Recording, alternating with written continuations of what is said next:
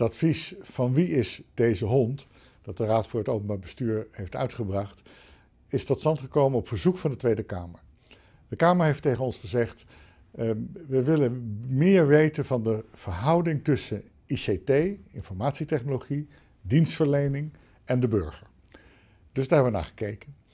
En wat dan opvalt is dat we heel veel dienstverlening doen waar ICT een rol in speelt. Maar dat met waardigerwijs de vraag, wat heeft de burger daar nou aan? En wordt voldoende rekening gehouden met wat de burger wil, dat die vraag eigenlijk helemaal niet zo expliciet aan de orde komt. Heel veel informatietechnologie komt vanwege efficiency-doeleinden, doelmatigheid. Wat we tegen de Tweede Kamer zeggen is, u hebt ons die vraag gesteld, ons antwoord is, u moet vooral naar uw eigen rol kijken. U bent de volksvertegenwoordiging en u kunt dus bij die grote ICT-projecten veel beter en scherper nagaan of die projecten burgerproof zijn.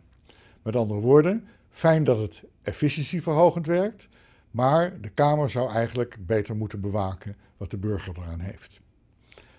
Dat, uh, dat kan op verschillende manieren en een van onze adviezen is, breng eens in de twee jaar een scan uit waarin je de vraag stelt, hoe gaat het eigenlijk met de informatisering van de Nederlandse samenleving, met met name de ICT in de dienstverlening van de overheid.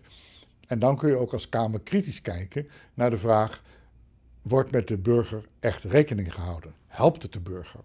Want we zien heel vaak dat de techniek wel gebruikt wordt om als het ware de overheidsadministratie goed op orde te brengen, maar veel minder gebruikt wordt om de burger greep te geven op zijn voorzieningen, toegang tot die voorzieningen en informatie te geven waar die echt op zit te wachten.